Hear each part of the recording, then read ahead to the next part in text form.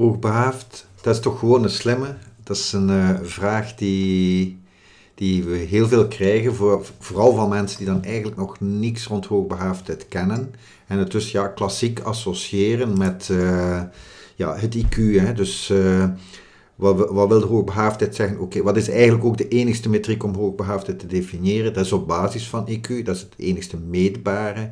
En daarbij hè, kan je kijken onder de 85 Ga je naar zwak begaafd of zeer zwak begaafd?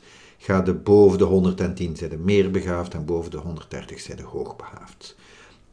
Nu, het is heel belangrijk om te beseffen dat die IQ, dat er ja, eigenlijk veel meer is dan dat alleen.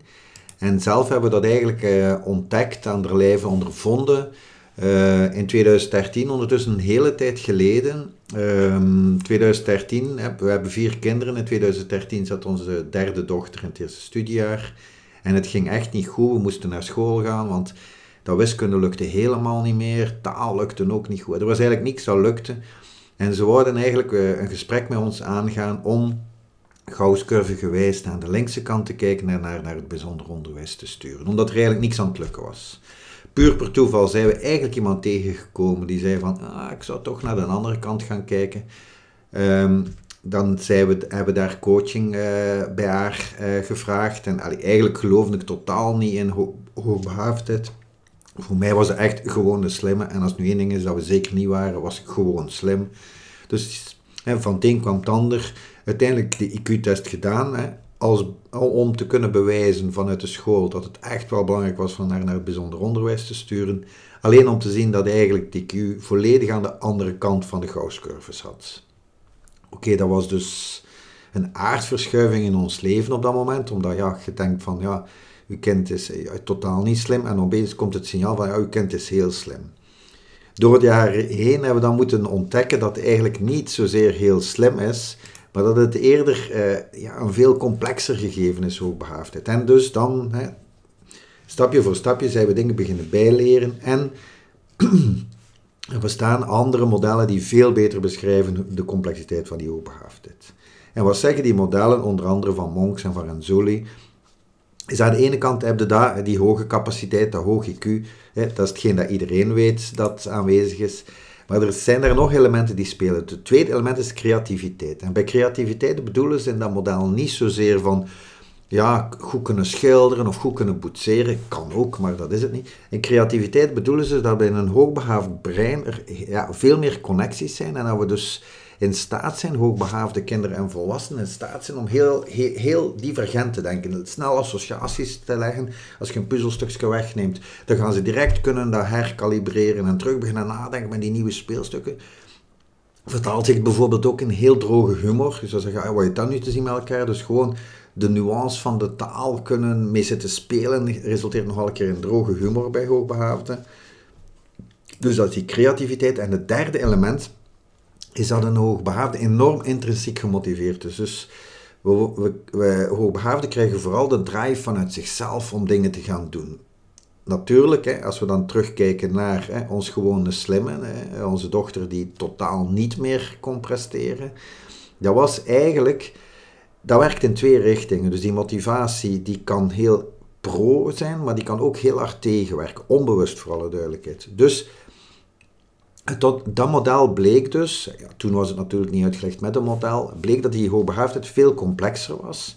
En viel natuurlijk ook bij ons de vraag van, ja, hoe komt dat dan, hè, als ze dan zo slim is, dat het dan helemaal niet meer tevoorschijn kwam op school. En dan bleek dat er in, in nog een derde model uh, van Tessa Kibomas en, en, en die eigenlijk dat model ook dynamisch maakt. Wat wil dat zeggen? Dus hoogbegaafdheid, die kan allez, voor de buitenwereld verdwijnen of zichtbaar worden. En in het geval van, van Mierte speelden de elementen gezin, school en peers totaal tegen haar. Wat, wat, wil dat eigenlijk zeggen? Dus die cirkel er rond is een soort rekker, dat het Big Five. En zij de introvert, extravert, zij de ordelijk of zij eerlijk wanordelijk. Dat zijn elementen die je nu hebt, waardoor dat je sterker in je schoenen staat om toch de dingen te doen waar dat je intrinsiek van gemotiveerd bent. Als die rekker niet zo sterk is, dan ga je heel hard gaan ja, meedraaien met de wind eigenlijk. Dan ga je eigenlijk proberen in de flow te passen, waardoor dat je eigenlijk ja, dat het allemaal begint mis te lopen. En dat is eigenlijk wat er aan het gebeuren was uh, bij ons dochter. Nu, naast de dingen die je zelf hebt, dus in een cirkel, zijn er ook nog elementen zoals het gezin, de peers en de school die positief of negatief gaan eh, beïnvloeden. Dus wat wil dat zeggen? En dat zijn dingen die we dan bijvoorbeeld uh, in, in, in onze sessies geven, waar dat we kennis delen. Hoe kijk je tegenover intelligentie, dus fixed mindset, growth mindset? Stimuleer je jouw kinderen om risico's te pakken? Moeten jouw kinderen taakjes doen thuis? Zoals ze zeggen, taakjes doen, taakjes doen, dat wil eigenlijk zeggen, door ze ook deel te maken van het gezin, verantwoordelijkheid te geven, gaan ze meer autonomie kunnen pakken. En hoogbegaafden en bijvoorbeeld nood aan autonomie. Dus hoe je jouw gezin managt kan een enorme positieve of negatieve invloed hebben op, ons, uh, op de groei van het hoogbegaafde kind. In ons geval was dat dus een heel negatief effect. De school, ja, als een school niet uh, moeilijk genoeg werk geeft, dus het feit dat de wiskunde te gemakkelijk was, was maakte het eigenlijk dat het onmogelijk was om, uh, om, om, het op te lossen, is, is, zijn elementen. Dus eigenlijk, ja, hoe, hoe gaat de school om met die hoogbegaafdheid? Waar ligt de focus? Ligt het vooral op de punten, op de resultaten of ligt het vooral op het leerproces? Als het op het leerproces zou gefocust geweest zijn toen, dan zou er veel meer gefocust zijn op ja, hoe kan, kan onze dochter het best leren. En dan hadden ze rap ontdekt van oei oei, maar die zit niet meer in het eerste, die zit al lang in het tweede qua kennis. Wat uiteindelijk ook bleek, hè, als, we dan, als we dan oefening van het tweede studiejaar gaven, die kon ze vlekkeloos oplossen, terwijl dat die van het eerste echt veel te moeilijk waren voor haar peers, dat zijn ontwikkelingsgelijken. Dat wil eigenlijk zeggen, je moet in contact komen met mensen die ja, een beetje op hetzelfde niveau van, van, van groei zitten en waarmee dat je kunt in interactie gaan. Eh, en dat je het gevoel hebt van, oké, die, begrijpen, die begrijpen wat ik bedoel. We zeggen altijd, vergelijk het eigenlijk met dat je dag in dag uit in een beschutte werkplaats zou moeten werken en daar in dialoog zou moeten gaan. En dat zijn de enigste mensen die je ziet de hele dag je kunt dat wel even volhouden, maar aan een tijd wordt dat heel moeilijk, omdat dat volledig tegennatuurlijk is aan de dingen waar je natuurlijk over zou willen gaan babbelen. En dus, bij deze, hè, is niet gewoon een slimme, maar er zijn een heel hoop parameters die zorgen dat, en dan komen we eigenlijk op het volgende model, het model van uh, Kuipers, het model van talentontwikkeling. En dat is eigenlijk een model waarin wordt uitgelegd wat er nodig is om te leren. Als je in dat model kijkt, we gaan niet in detail gaan hier, want ja, dat is een model op zich dat je al een uur uitleg over kunt geven. Dus je hebt een bepaalde aanleg, dus als ook als hoogbegaafde, maar ook als normaalbegaafde, die model dit model werkt voor iedereen. En dan is het eigenlijk door de wijze van leren dat je naar hogere prestaties kunt geraken. Dus er is een leerproces dat zich moet voordoen. Elk kind op school moet dit doormaken op hun niveau en hun tempo. Er zijn twee belangrijke elementen die dat proces beïnvloeden. Dat is je omgeving en de kracht in jezelf. Kracht in jezelf denkt denk ook aan die cirkel eh, uit ons vorig model. Dus als je kijkt naar je omgeving, hè, hulp van je ouders, ja, hoe, hoe, hoe interageer je met jouw kind? Wat zeg je juist? Waar focus je op? Krijg je jouw kind de taken? Dus al die dingen die ik daar juist ook al zei, spelen hier een rol juf en meester die jou begrijpen en goed helpen, ja, als, als de leerkracht, de juf of de meester niks weet rond hoogbegaafdheid, dan gaat die ook niet begrijpen ja, hoe anders hoogbegaafden soms denken en hoe gevoelig ze zijn aan sommige dingen in vergelijking tot de andere leerlingen van de klas. Moeilijk en uitdagende leerstof is superbelangrijk. Er is maar één manier om te leren. Er is maar één manier om, om ja, fouten te maken waaruit je kan leren. Ja, dat is materiaal hebben waar dat je toch even iemand nodig hebt om wat uitleg te geven om vooruit te geraken. De kinderen uit je groep begrijpen, dat is die peers, die ontwikkelingsgelijken, deelnemen aan hobbyclubs of verenigingen. Dat is bijvoorbeeld al een deel van de oplossing. Doordat uh, als je gaat experimenteren met andere hobby's, heb je kans dat je daar al die intrinsieke motivatie getriggerd krijgt. Dat gaat dan al een stuk versterken. Je hebt ook de school nodig, maar je kan met de hobby's ook al een stuk die growth mindset bij jouw kind, hè, die, die zin, die intrinsieke motivatie, de terug durven fouten maken, het zin hebben om, om beter te worden in iets, kan je bijvoorbeeld ook al een stuk in, in de hobby's vinden. Bijzondere gebeurtenis van je leven, dat is vooral belangrijk van ook naar te kijken. Als er een belangrijk event is, een scheiding, een overlijden, eh, een, groot, een verhuis, het zijn eigenlijk allemaal dingen die het leerproces kunnen beïnvloeden. Zo, dat is eigenlijk wat daar, jij als ouder, naar de school toe. Dat zijn dingen die we in ons handen hebben.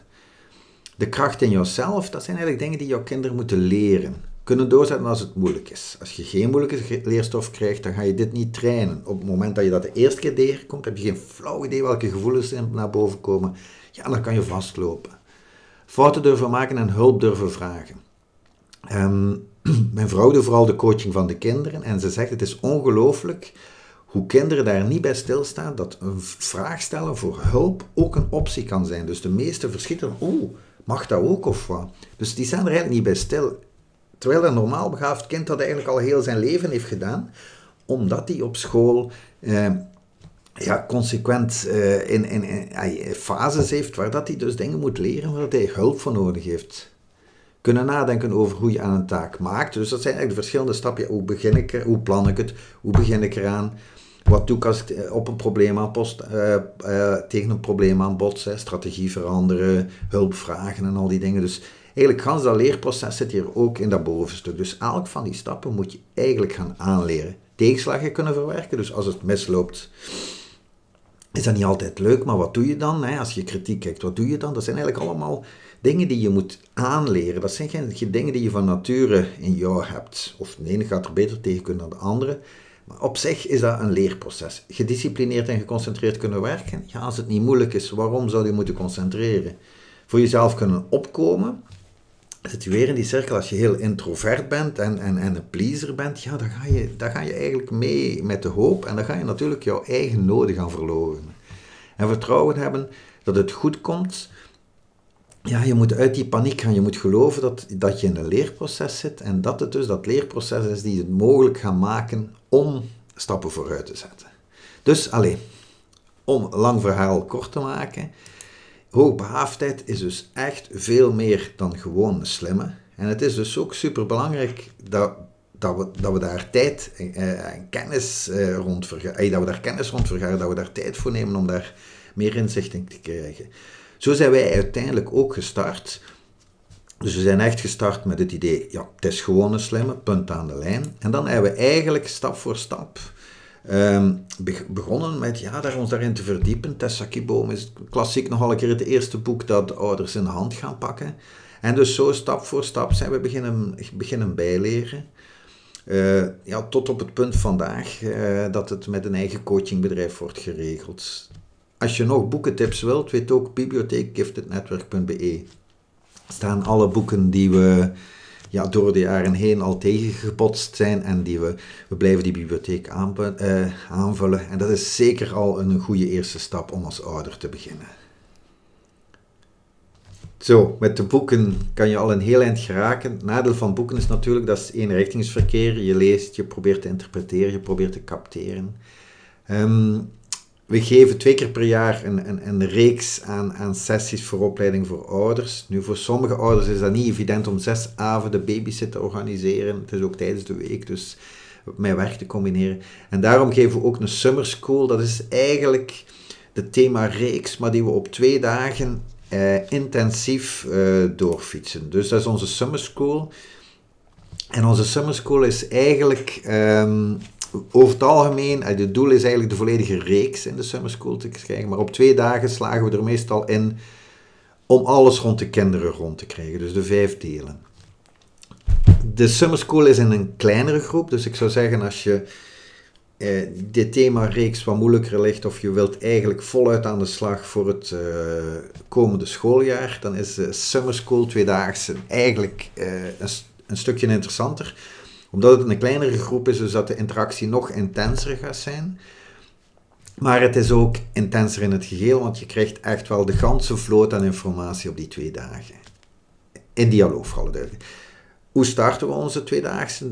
In dag 1 is het vooral eerst die hoogbehaafdheidsmodellen allemaal goed toelichten. Dus je hebt de Tessaki-boom, je hebt de Dabrowski, ehm, Steinberg. Uh, je hebt eigenlijk een hele hoop verschillende visies. Het Delphi-model. Verschillende visies, verschillende uh, verklaringen rond wat hoogbegaafdheid is. En het is eigenlijk eerst heel belangrijk om die modellen een keer goed door te spitten en te linken aan jouw eigen zoon of dochter of, of leerling als je daar als leerkracht komt, want dat mag ook voor leerkrachten. Zodanig dat die modellen al, al direct een beeld krijgen. Dat je ook ziet van, ah ja, maar ja, die, die, uh, die kritische houding vertaalt zich, die asynchroniteit, ah, wat is dat dan juist? Oei, oei, oei, ja, je kan over wereldproblemen babbelen en krijgt zijn schoenveter niet toe. Dus je hebt een hele hoop kenmerken rond die autonomie. Wat, wat, is dat? Waarom? Hey, hoogbegaafdheid en autonomie, wat is dat dan juist? Hè? Dus het, het feit dat je echt wel dat stuur zelf in handen hebt, en dat, hè, dus een, een, leerkracht die, die, die heel sturend is en, en geen autonomie toelaat van het kind, ja, dat, dat kan beginnen knetteren. Dus er zijn een hele hoop modellen in die hoogbegaafdheid uh, die eigenlijk een stuk kunnen verklaren waarom dingen gebeuren zoals ze gebeuren. Nu, dat wilde natuurlijk niet stoppen op dat punt. Dus dan gaan we met mindset en de positive discipline. Mindset is sowieso ja, de belangrijkste als, wij, als we hier coachen, hè, mijn, mevrouw coacht de kinderen en de tieners, dan zal het 99,99% rond in een mindset zijn dat het probleem eerst staat. Hè. De durven, eh, het kunnen omgaan met de stress als iets niet aan het lukken is, hè, faalangst, agressie soms ook zelf, hè, dus echt geen controle hebben over je emoties als het wat moeilijker wordt. Dat draait eigenlijk nogal een keer rond in een mindset. Dus dan gaan we, en dan gaan we dag 1 zal al een stukje zelf naar dag 2 gaan. Inzoomen op de mindset en op positief discipline. Opvoeden zonder straffen en belonen. Klinkt zo ja, fluffy fluffy, maar dat is eigenlijk ook super belangrijk. En daar speelt ook die autonomie bijvoorbeeld in. Positief discipline heeft, heeft, werkt eigenlijk vanuit dat principe van die growth mindset. Van, het proces is belangrijker dan het resultaat. Samen tot, tot doelen komen. Maar positief discipline geeft ook heel veel tools om jouw kind toch die autonomie te geven aan de ene kant, die ze zo hard nodig hebben als hoogbegaafde, maar langs de andere kant ook een kader te kunnen creëren om het speelveld onder controle te krijgen. Zodanig dat hè, ze veel zelfstandiger kunnen deel uitmaken van het gezin, maar toch ook heel zelfstandig een, een, een, een stukje mee een stempel kunnen drukken op waar dat je naartoe gaat met je gezin. Dus positief discipline, kijk goede tools, we gebruiken ze ook dagelijks. We maken er ook dagelijks fouten tegen, dus uh, het is geen, uh, allez, het is, het is niet het gemakkelijkste in de zin van, van nature instinctief hebben we de neiging om wel bijvoorbeeld sneller naar straffen, naar kwaad zijn te gaan. Maar dat is eigenlijk een stuk, ja, omdat dat in je opvoeding is meegegeven. Dus het, het vraagt meer energie om deze technieken toe te passen, maar ja, het resultaat is natuurlijk ook navenant beter dag 1, maar meestal dag 2 gaan we dan ook het stuk school gaan aanpakken. En dat is het interessante voor Summer School, omdat dat dan de voorbereiding is voor het nieuwe schooljaar.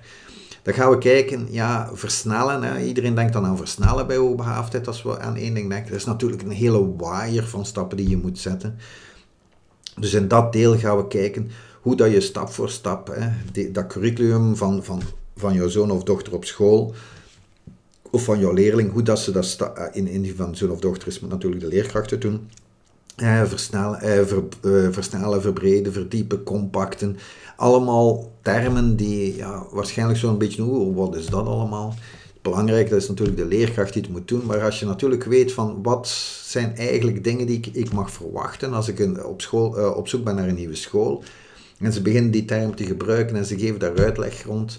En bijvoorbeeld moet hij eerst al die uh, oefeningen doen voordat hij moeilijker werk krijgt. Oké, niet goed. Hè, dat is gelijk. Je mag eerst ganzen afwas doen en dan mogen als beloning de glazen nog doen.